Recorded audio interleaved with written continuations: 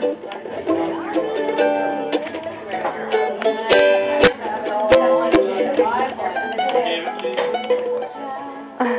Jingle Bells again.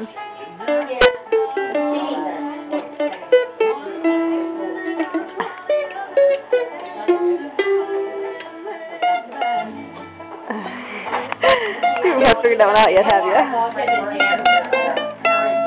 So it's that, I